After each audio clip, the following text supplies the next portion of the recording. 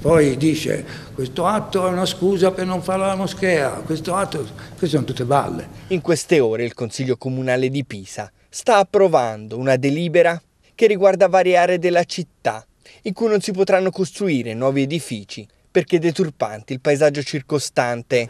Un edificio di culto ha bisogno di uno spazio libero davanti, quello che si, il sagrato della Chiesa. Ora, le moschee non saranno sagrato, si chiameranno in un altro modo, non lo so, non sono, però ha bisogno di avere un certo respiro, non può essere affogato fra le case o, o fra le macchine o fra i parcheggi, insomma.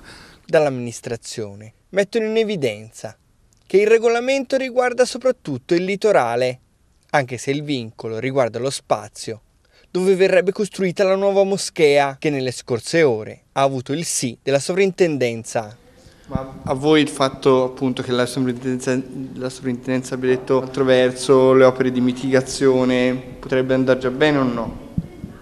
No, quello lì una, una, mi sembra una presa in giro, quella di girarla dall'altra parte, ma che senso ha? Insomma, lì è un, un volume alto 15 metri, eh, 1500 metri quadrati, ma eh, come lo giri è sempre, è sempre quello, insomma. Questo per non farla fare lì. Eh, poi se invece eh, deve essere fatta fare lì, peggio per, per tutti, perché secondo me è un, un'offesa al paesaggio e eh, anche creerà problemi urbanistici, problemi di traffico, problemi, insomma tutta una serie di problemi che vanno tutti a scapito dei pisani.